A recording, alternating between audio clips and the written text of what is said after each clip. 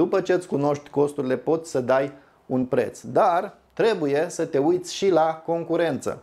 Pentru că dacă vorbim de cazul acesta de 100 de hanorace, este foarte posibil ca acel client să mai aibă și alte oferte de la alte firme concurente. Și atunci tu trebuie să te gândești la nișa pe care tu te-ai dus sau vrei să te duci. Pentru că dacă tu ai o mașină casnică de brodat sau ai o mașină cu un singur cap, iar concurentul are o mașină cu două, cu patru, cu șase capete, atunci ai o problemă.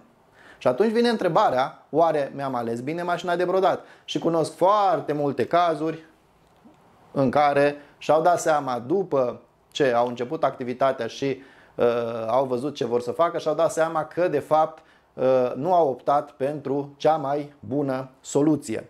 Fac o paranteză, chiar în aceste zile pe grupurile de Facebook cineva vrea să vândă o mașină uh, din asta cu braț liber cu un singur ac cu 28.000 de lei. La prețul acesta noi la Galaxy avem mașina cu are de brodare de 22 pe 30 de centimetri care are 12 ace. Spunea că mașina lui are două gherghefe